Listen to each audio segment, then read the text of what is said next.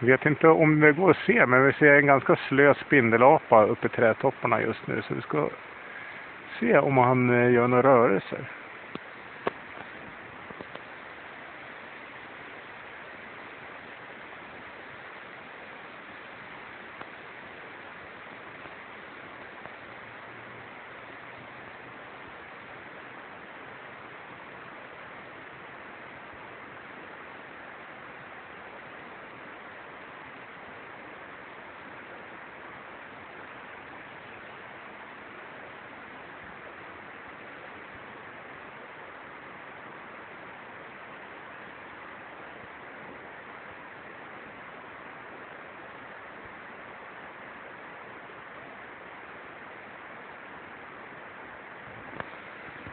Ja, han kliar sig, äter lite blad och tittar lite. Det händer inte så mycket just nu.